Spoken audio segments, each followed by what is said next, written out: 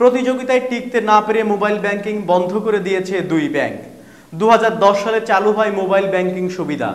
দুহাজার আঠারো সাল পর্যন্ত মোবাইল ব্যাংকিং পরিচালনার জন্য উনত্রিশটি ব্যাংক বাংলাদেশ ব্যাংকের কাছ থেকে অনুমোদন নিয়েছে। যদিও কার্যক্রম পরিচালনা করছিল আঠারোটি ব্যাংক। তবে গত বছর থেকে বেসরকারি খাতের এক্সিম ব্যাংক ও আইএফআইসি ব্যাংক মোবাইল ব্যাংকিং বন্ধ করে দিয়েছে বলে বাংলাদেশ ব্যাংক সূত্রে জানা গেছে।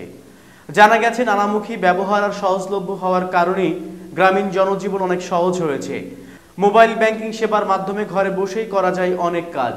বাস ও ট্রেনের টিকিট থেকে শুরু করে বিশ্ববিদ্যালয়ের বেতন পরিশোধ করা, কেনাকাটা করা ও বিদ্যুৎ বিল পরিশোধ করা যায় মানুষের হাতের মুঠোয় থাকা ছোট্ট যন্ত্রটির মাধ্যমে। কিন্তু চলতি বছর থেকে এক্সিম ব্যাংক ও আইএফআইসি ব্যাংক তাদের মোবাইল ব্যাংকিং সেবা বন্ধ করে দিয়েছে। কেন এই সেবা বন্ধ করা হলো? সে বিষয়ে ব্যাংক দুটির পক্ষ থেকে কোনো মন্তব্য পাওয়া যায়নি।